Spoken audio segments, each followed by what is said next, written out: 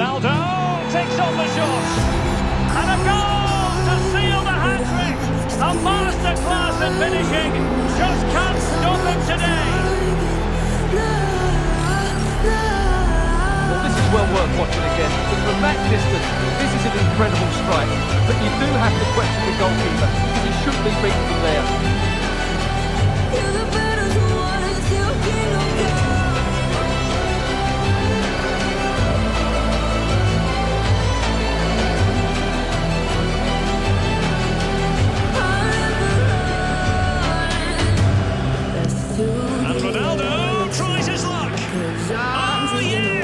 Manchester United have made the opening statement in this final. They take the lead.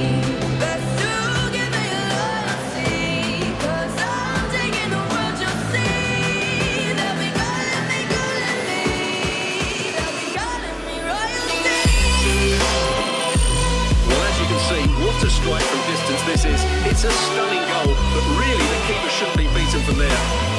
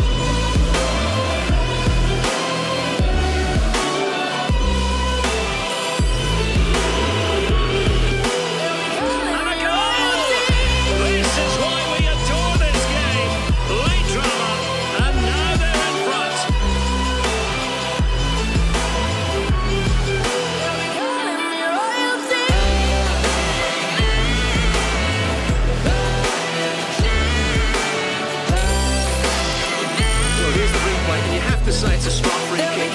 Hits it hard, hits it low, completely deceives the wall,